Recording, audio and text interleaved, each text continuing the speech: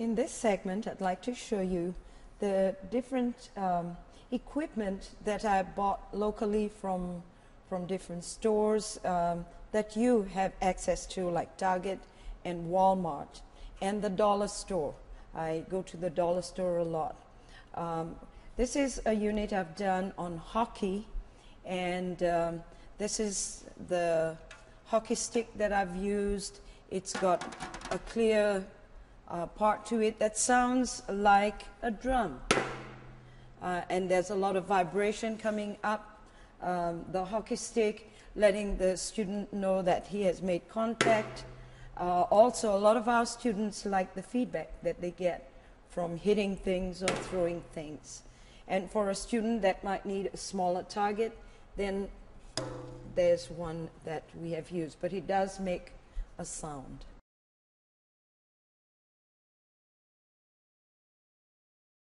This is an example of a racket type game, a bat type game. Um, I got it for, for its high contrast, the colors. Uh, so with a student who has low vision but can see what they're doing, they can actually make contact with the shuttlecock and, and, and see it where it lands and also see the bat in contrast to the floor or what's around them.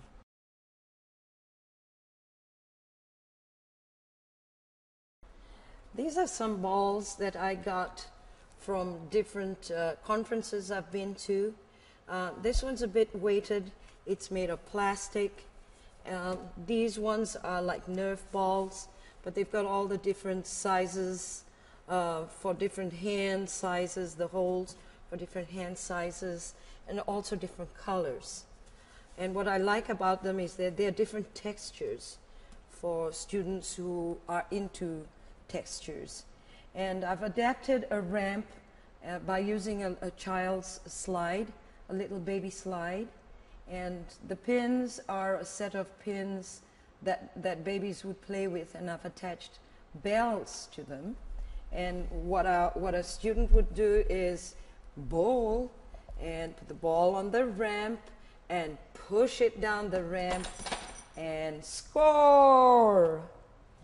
So that's the adaptation for bowling.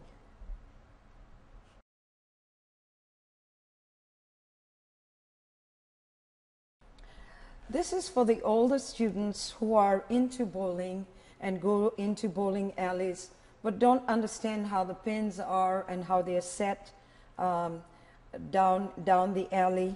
Um, I've, I've, I've created this so that they can count the pins. We also show them real pins. But then when they score and we tell them, all right, you've knocked down three pins, then this is their, what they would do, count out the three pins and count the, the pins that were still standing so that they'd know uh, where, where to, to aim at or also how many pins to target. So um, in, in teaching uh, the bowling game, then we're tying it up with their math skills as well.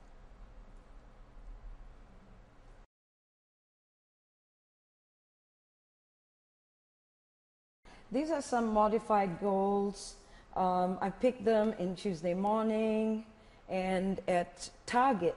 This is one that gives the student feedback immediately that they've scored a goal. Uh, as soon as uh, they touch, they hear uh, that they've scored a goal. Um, in this bigger one, it's made, it's homemade.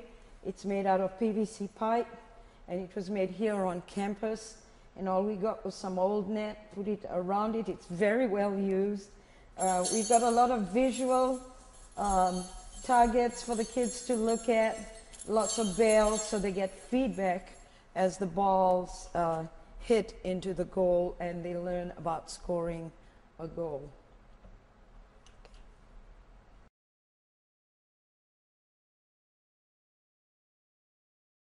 In terms of the soccer balls, we've used the real soccer ball, which you all know.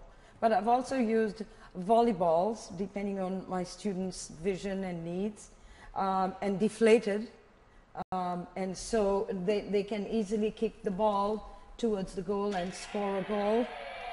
or if they have problems with kicking and have problems with their feet, then even the bigger ball kicked into the goal post gives them the feedback uh, and they've scored a goal.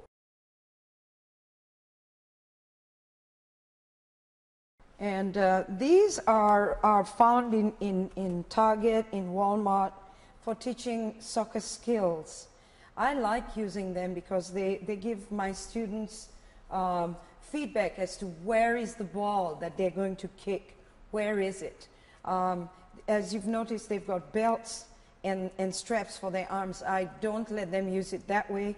I like them to keep it in one, in one hand so that they know exactly where the ball is so that they can kick it and whatever skill that we are doing, um, they, they can follow the ball by knowing where it is at the end of the, of the string and the net. They'll know exactly where it is, and we're not running all over the gym um, picking balls or looking for balls. But it's an excellent item. I've also used this for volleyball by stringing it up in the air. Then the ball's not going everywhere, it's going to come back towards the student. Of course, it's high enough.